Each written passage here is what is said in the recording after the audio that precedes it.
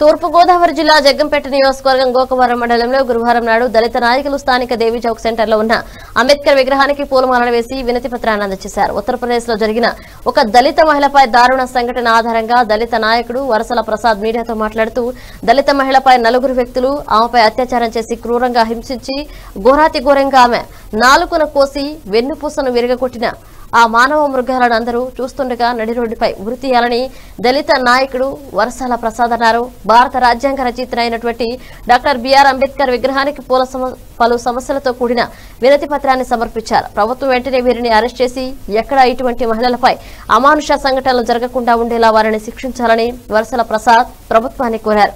వారిని కఠినంగా శిక్షించలేనట్టయితే మహిళలకు అండగా దేశవ్యాప్తంగా ఉద్యమాలు చేపడతామని అన్నారు.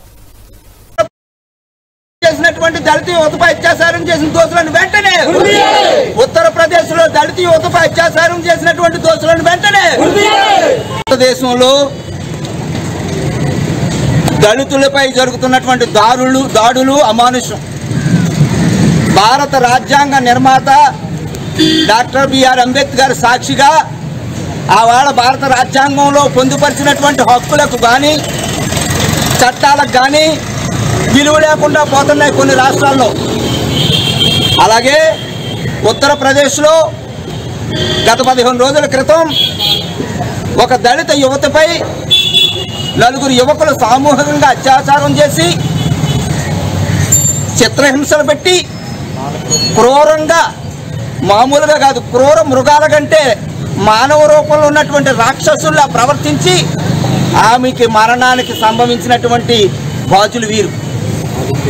నాలుక కూడా కోసేశారు వెన్నెముక విరిచేశారు రకరకాల చోట్ల కాల్చారు కోసారు ఇ- ఇంత మా- ఇంత అమానుషమైనటువంటి మానవత్వం లేనటువంటి మృగాలని ఇంకా ప్రభుత్వాలు చూడడం అనేది కరెక్ట్ కాదు. కాబట్టి వెంటనే ప్రజల సమక్షంలో కాల్చి చంపాలని చెప్పి మా దళితుల ఆవేదన.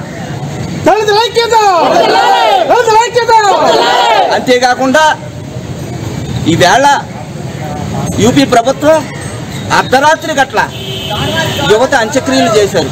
అంటే అమానుషమైనటువంటి రీతిలో కాముగా ఎవరో కూడా ఆవిడ అంత్యక్రియలకు వెళ్ళలేని స్థితిలో ప్రభుత్వం అంత్యక్రియలు చేయడం ఆమెకే కాకుండా మా దళిత జాతి అందరినీ కూడా అవమానపరిచినట్టే ఉత్తరప్రదేశ్ ప్రభుత్వం యూపీ ప్రభుత్వం.